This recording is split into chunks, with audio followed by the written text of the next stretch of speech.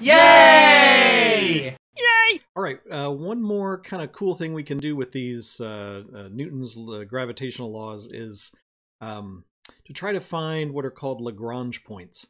Um, where is maybe a point, uh, if I put a mass, a little m, uh, is there a point I could put it so that it would stay uh, uh, the same, it would stay uh, at the same point relative to the Earth as it goes around the sun?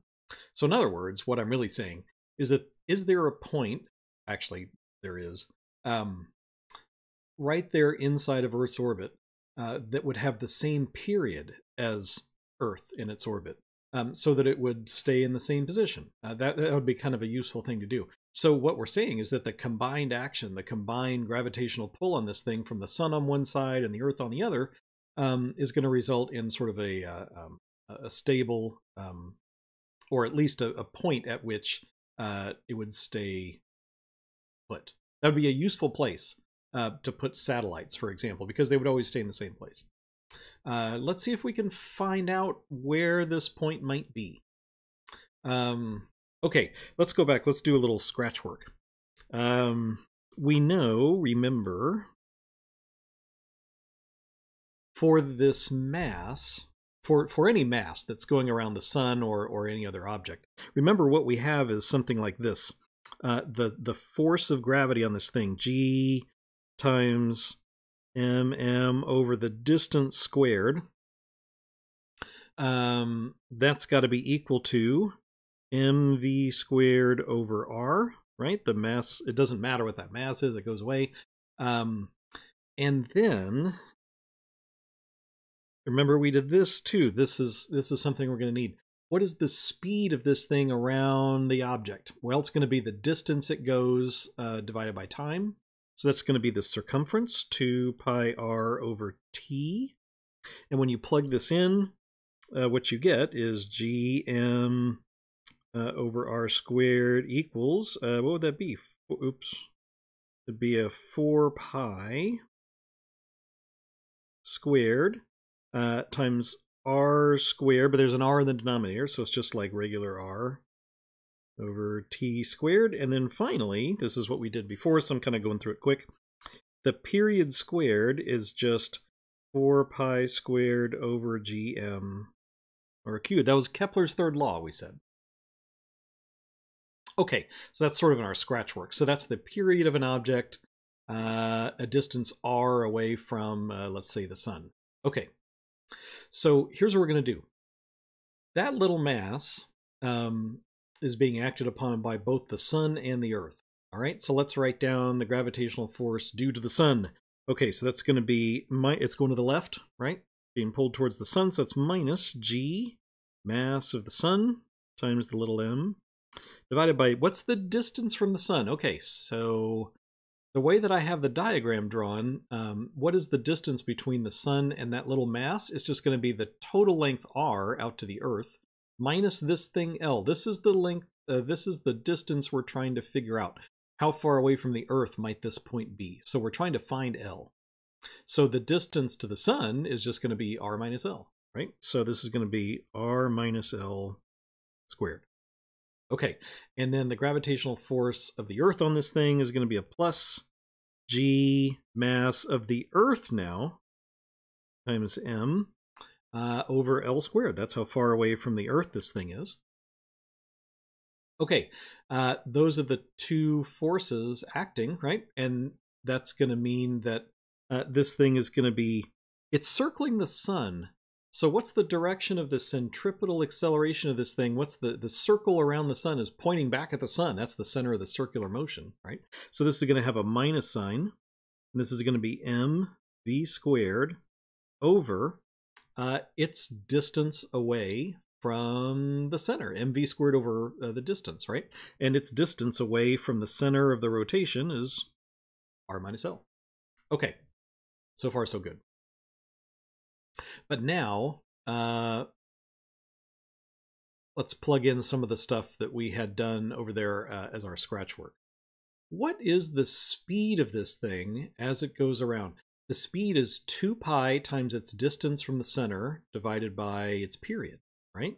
So this is going to be minus m uh, v squared. Okay, that's going to be 2 pi. That's going to be squared, right? 4 pi squared times its distance away squared, which is r minus l. r minus l squared. Um, but then there's an r minus l in the denominator, right? So I can get rid of one of those.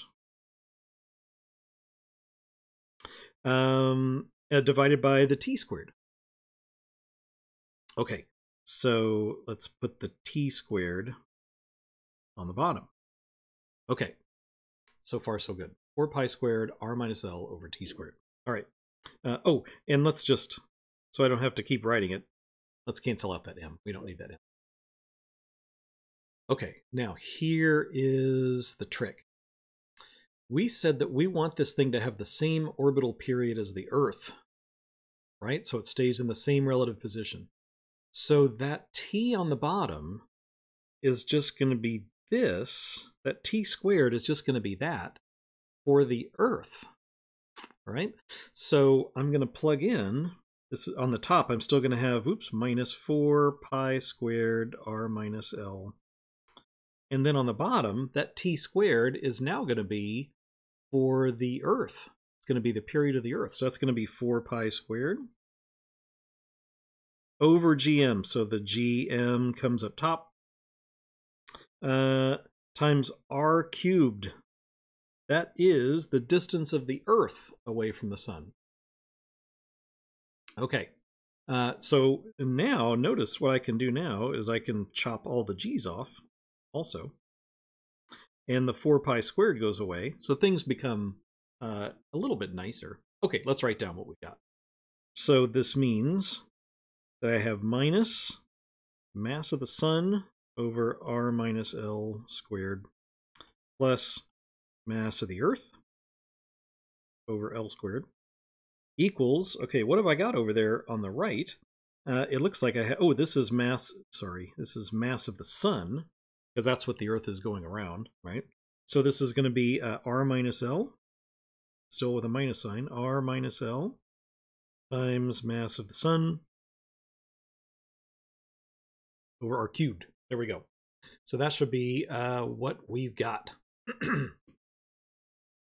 um, and just for kicks, just because I'm going to clean this up a little bit, let me multiply everyone by a minus 1 It'll just make everything look a little bit cleaner. Boom. Okay. So anyway, switch signs on everybody. All right. Um, now I'm going to use a little calculus trick. And this is called, you may have seen this before in calculus, you may not have. It's a little bit of an advanced trick, but it's just extremely useful. This is called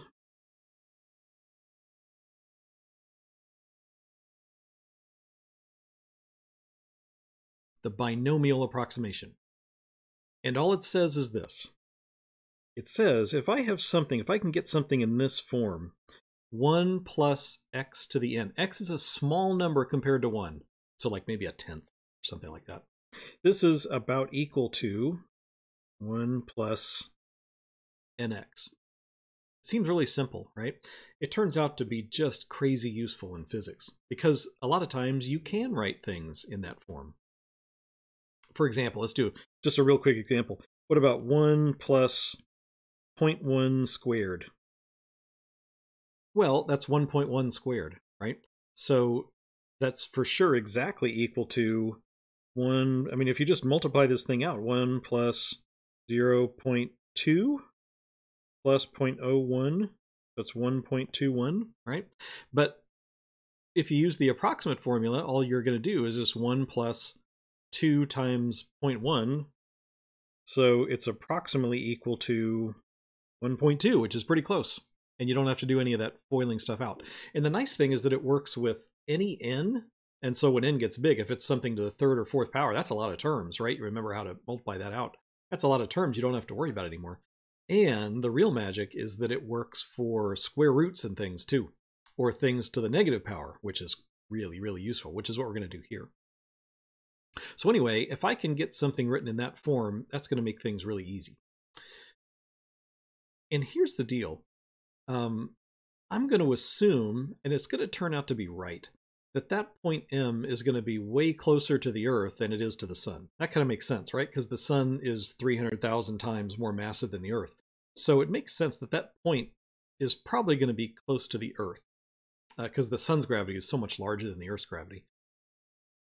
So that R distance is way, way bigger than L. So compared to R, L is a small quantity. So watch this. Look at that first term in the denominator, r minus L squared. What if I sort of factor out an R?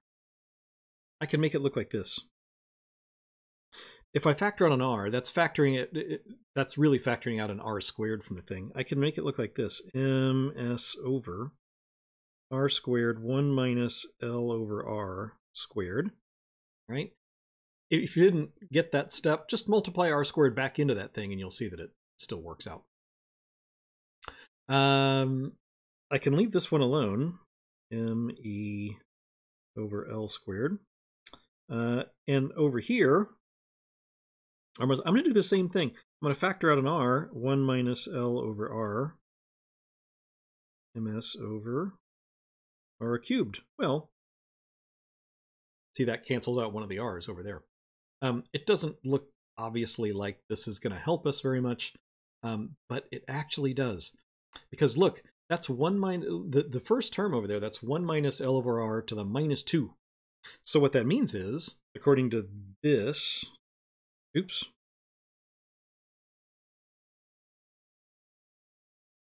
uh, according to this, what I do is I bring that n down inside. This is, let me, re, let me rewrite this. This is ms over r squared, and this is 1 minus L over R to the minus 2 minus ME over L squared equals MS over R squared 1 minus L over R. Okay. So it looks like that. Um, what I do is, according to the approximation, I can make this really easy just by bringing that minus 2 inside. So that makes it look like this. That's going to be M s over r squared. And then this is going to be 1 plus, I bring that minus 2 inside. This is going to make it be uh, 1 plus uh, 2l over r. Way simpler than trying to multiply that thing out in the denominator, right? And finding um, common factors and all that. That that That's crazy. This is much, much, much, much, much easier. Uh, minus me over L squared equals uh, on this side, I'm still going to have my uh, ms over r squared 1 minus l over r. Cool. Um, oh, look. Look at those factors of 1. ms over r squared is on both sides, multiplied by 1. So that factor and that factor of that thing goes away. Uh, and then I'm going to have, let's see, on the right-hand side, I got ms over r squared times l over, so I got ms l over r cubed on the left-hand side, I have m, I have two of those, two msl over r cubed. Those are just going to combine together. So look, look what I got. I got uh, m, I got 3 msl over r cubed is equal to this thing that's left over, me over l squared, if I bring it to the other side. Uh, that's pretty neat. And what is it that I'm trying to find? I'm trying to find L. So this is actually pretty easy. Just solve for L. So this means that L cubed, I'll take the cube root, um, is just going to be, uh, what? It's just going to be everything else that's uh, inside of there. So it looks like it's going to be ME over 3 MS.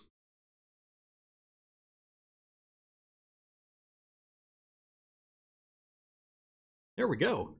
Um, so it's this uh, interesting, kind of a simple ratio of the masses of the two bodies that are involved.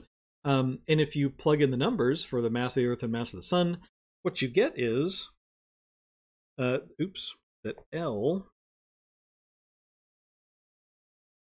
is about equal to 0.01 times R. So roughly, Uh, if you go one hundredth the distance to the sun, that's going to be a stable point. That's the first Lagrange point. Um, that's what four. That's uh, so L is about equal to. That'd be um, something like 1.5 times 10 to the ninth meters. Uh, something like that. 10 to the six, one one and a half million kilometers. Um, so that's what four times four times farther than the moon. That's a that's the first that's the first stable point. Very cool. Um, is there another one? It turns out, uh, yeah, the other one is really easy to find um, because you could go on this side of the Earth. So this one is called L1. This one is called L2. L1 is where they put the solar observatories because you want to have a, sort of an unfettered view of the sun that doesn't change. So a lot of the solar observatories are actually at the L1 Lagrangian point. We like to put uh, space telescopes out at L2. There's a couple already out there, and then the James Webb, the new space telescope, is going out to L2. The reason is because the Earth is almost completely blocking the sun at that point, um, which is cool because then you don't have to worry so much about solar interference. Uh, and the L2 point, the only difference is if you want to find the L2 point, um, over here where it's r minus L, what you would do is just put in r plus L instead, because that would be the distance out at the L2 point. Uh, if you do that, um, the sign of uh, that force, oh, and the sign of the force due to the Earth, right? You, you would change that, and then the sign of the force due to the Earth is pointing the opposite direction now, if you're on the other side of the Earth. If you do that and solve the equations, it turns out you get the same answer, um, except it's on the other side of the Earth. That's neat. So the L1 point and the L2 points are uh, pretty much equidistant from the Earth, one on one side and one on the other. Um, it does turn out this is a more complicated analysis, um, but those are unstable points. Uh, so that you have to do a little station keeping. If you wander off of those points a little bit, you keep sliding further and further away, sort of like on the top of a hill. Um, so spacecraft that are sent out there have to expend a little bit of energy to stay there, uh, but it's really cool that those are uh, that those are points uh, that stay relatively the same position with respect to Earth. There are more. There's another one on the other side of the sun called L3. That's basically sort of a mimic of the Earth on the other side of the sun. Uh, some people joke that that's where you would put an alien invasion force, right? Because it's opposite of the sun. You can never see it because it's on the other side of the sun. Um, so far, we don't think anything is there. Um, we wouldn't know, though, would we? Uh, and then there's two other points. There's, there's L4 and L5, and those are a little bit more complicated to find also. Um, if you make an equilateral triangle, pretend this is an equilateral triangle, uh, L4 and L5 are both ahead of and behind the Earth's orbits, and those are stable equilibria. And those are where you might find uh, like what are called Trojan asteroids. Just um, uh, for Jupiter's orbit, for example, L4 and L5 are regions where uh, asteroids can just sort of collect and sit there because it's sort of a stable equilibrium. It's like being at the bottom of a hill. So if you get close to that point, you'll stay at that point. Um, okay, so this is sort of an interesting application um, using a slightly advanced uh, approximation technique so we don't have to exactly solve the equation, but we can get pretty close using this uh, approximation that you might see in calculus um, to arrive at uh, pretty neat results that there are these um, uh, cool stability points uh, when you're talking about two and three body systems.